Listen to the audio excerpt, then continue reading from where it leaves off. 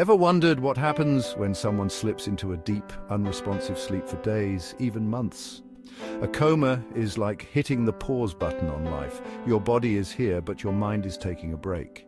Medical experts describe it as a state of deep unconsciousness where the brain is still functioning but at its lowest level. For families, it's a roller coaster of emotions. One moment there's hope, the next, uncertainty.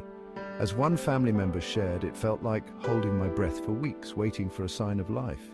People coming out of a coma often describe it as waking from a deep sleep. Some recall vivid dreams, others just darkness. Recovery varies, it can be slow and challenging, but many find strength in the support of loved ones. Remember, every coma experience is unique. It's a journey of patience, resilience, and hope. If you or someone you know is going through this, you're not alone. There's always hope on the horizon.